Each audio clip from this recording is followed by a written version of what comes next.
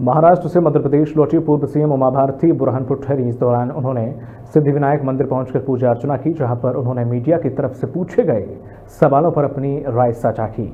हम उमा भारती की आपको वो तीन तस्वीरें दिखाते हैं। पहली तस्वीर में वो ताप्ती नदी के शुद्धिकरण की बात कर रही हैं, दूसरी में जैन तीर्थ स्थल को लेकर कहा कि लोगों के बीच संवादहीनता की कमी है। तीसरी तस्वीर में पठान फ़िल्म को लेकर नसीहत देती हुई नज़र आई। आपने बहुत अच्छी बात कही बहुत चिंता का विषय है। तपस्या से बनी हुई नदी है वो।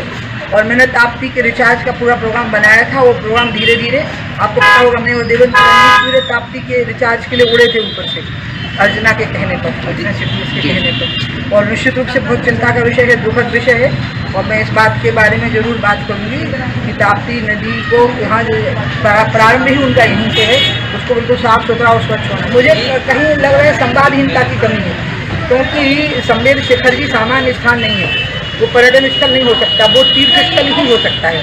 क्योंकि वहाँ पर सारे संसार के जो विभिन्न जो उनमें जो तीर्थंकर हुए हैं, उनके जो अनुयायी हैं, वो वहाँ मत्था टेकने जाते हैं। और पर्यटन स्थल हो जाने से उनको बहुत कठिनाइयाँ आ जाएँगी। मुझे मोदी जी की सरकार ऐसा कभी नहीं कर सकती कि किसी की भावनाओं को चोट पहुँचाए। कहीं संवादहीनता की कमी है और मुझे लगता है वो एक दो दिन में ठीक हो जाए अगर ये फ़िल्म फ़िल्म थिएटर से रिलीज़ होने वाली है तो इसको सेंसर बोर्ड काट देगा।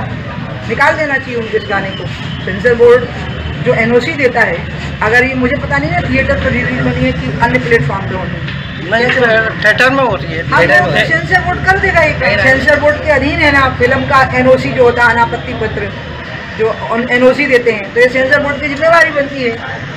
सूचना प्रसारण मंत्रालय की जिम्मेवारी बनती है कि वो इस गाने को काट दें उसमें से।